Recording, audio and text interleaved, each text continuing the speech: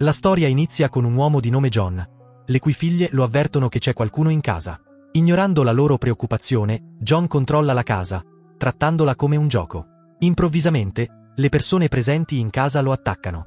Uno degli aggressori, di nome Luke, uccide la moglie di John e poi sua figlia.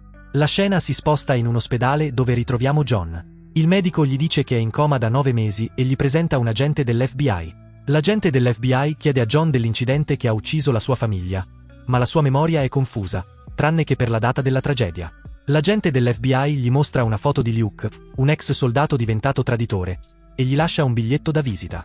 Dopo una chiamata dello stesso agente dell'FBI, viene attivato un idraulico. Vediamo un personaggio di nome Magnus che inizia a comportarsi in modo strano e vomita.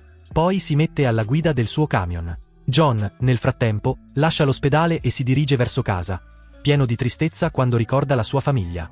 Più tardi, Magnus viene visto in uno strip club, dove uccide un'anziana signora e passa a uccidere altre persone. Magnus raggiunge infine un'aula di tribunale dove combatte contro un personaggio di nome Scott. Durante il combattimento, Scott inietta un siero a Magnus, assumendone il controllo. Sotto il comando di Scott, Magnus si sente dire che ora è libero, ma deve combattere per loro e contro il governo. In seguito, John riceve una telefonata da un certo dottor Isaac, che si presenta come amico di John e gli chiede di incontrarlo a casa.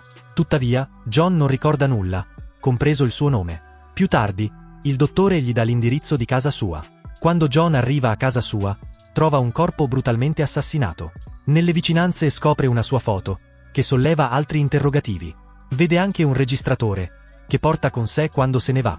John fa suonare il registratore, che rivela dettagli su un uniforme e su come un medico possa preparare qualcosa di rapido per lui. In seguito, John segue gli indizi del biglietto ricevuto e si reca in un bar. Lì incontra una ragazza di nome Sara. John cerca di farle delle domande, ma lei lo ignora. John esce fuori, ma Magnus appare improvvisamente e inietta a John un siero simile a quello usato su di lui. Non riuscendo a sconfiggerlo, John viene cacciato e lasciato in cattive condizioni. John torna a casa, ma Magnus lo attacca di nuovo. Durante la lotta, Magnus taglia le dita a John. Con l'aiuto di Sara, John riesce a reagire, tagliando la gamba di Magnus. In seguito, vediamo Scott, che ispira molti soldati e persone come Magnus a combattere per la loro libertà. Apprendiamo che questi soldati stanno combattendo contro il governo, cercando di liberarsi. In seguito, vediamo John e Sara, Sara rivela che un tempo John e Sara erano innamorati. John guidava un camion e non vivevano in una casa tipica, ma in una piccola capanna vicino al fiume. Questo confonde John, che non ricorda nulla di tutto ciò. Più tardi, John contatta Gorman e gli dice che sta assistendo a cose che accadono in tempo reale. Lo informa che sospetta che dietro a tutto ci sia Luke, ma non è sicuro del suo legame con tutto questo. Poi vediamo Magnus, la cui gamba gravemente danneggiata è ora quasi completamente guarita. Con l'aiuto di Sara, John trova la strada per raggiungere un'azienda dove consegnava merci con un camion. Incontra un uomo di nome Larry e gli chiede l'indirizzo di consegna. Tuttavia, Larry nega di avere informazioni e dice che solo un certo Ron può fornirgliele. John incontra quindi il signor Ron, che non sembra voler dare risposte chiare. Frustrato, John mostra al signor Ron una foto di Luke chiedendogli se lo conosce. Il signor Ron dice a John di andarsene, sostenendo che Luke è il suo superiore.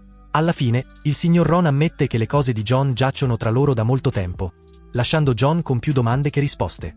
Tuttavia, quando John approfondisce, scopre che è stato lui a uccidere il suo stesso amico. Isaac è stato ucciso, come gli mostra il signor Ron sui nastri. John si reca quindi da Sara, chiedendole l'indirizzo del luogo in cui aveva soggiornato una volta con Sara. Sara era stata una figura importante nella vita di John, che sperava che rivisitare il passato gli avrebbe fornito alcune risposte. Tuttavia, prima che John possa fare dei progressi, viene attaccato da Magnus, che gli sta dando la caccia da tempo. Mentre la battaglia tra John e Magnus si intensifica, il loro scontro si riversa in un negozio. Entrambi gli uomini combattono strenuamente e appare chiaro che i due sono in perfetta parità. Tuttavia, dopo un estenuante scambio, John ottiene finalmente l'opportunità di cui ha bisogno. Con una mazza da baseball in mano, John colpisce Magnus con tutta la sua forza, facendolo a pezzi. Alla fine, Magnus viene ucciso e John rimane in piedi vittorioso. Nonostante la vittoria, John rimane profondamente turbato. Nel corso degli anni, ha sopportato innumerevoli ferite e battaglie, eppure si accorge che le sue dita mozzate iniziano a rigenerarsi, quasi per magia. Questo strano evento non fa che accrescere il senso di inquietudine di John. Deciso a scoprire la verità, John si reca in un luogo che Sara gli ha indicato come la baita, dove incontra un'altra versione di se stesso, un altro John. Quest'altro John gli rivela un segreto sconvolgente. Anni prima, John aveva ucciso Isaac, uno scienziato che lo teneva sotto controllo. All'epoca, John lavorava per il governo, ma a un certo punto le cose sono andate storte. L'altro John spiega che l'Unisal, un'organizzazione oscura, aveva reclutato John tra le proprie fila, promettendogli potere e conoscenza in cambio della sua fedeltà. La verità comincia a svelarsi. John scopre che il governo lo ha usato per i suoi scopi e che è stato manipolato dalle stesse persone di cui un tempo si fidava.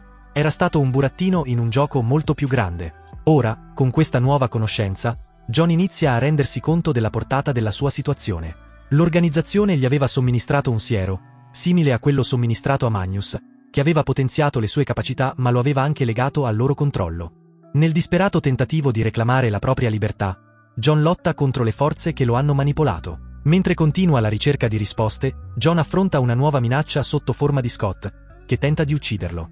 In un acceso confronto, John riesce a sfuggire alla morte ancora una volta, quando un'altra figura Zona spara a Scott prima che possa finire il lavoro. Con Scott morto, Zona aiuta John a rimuovere un dispositivo che gli era stato impiantato dall'organizzazione, un dispositivo che aveva tracciato e controllato le sue azioni per tutto il tempo.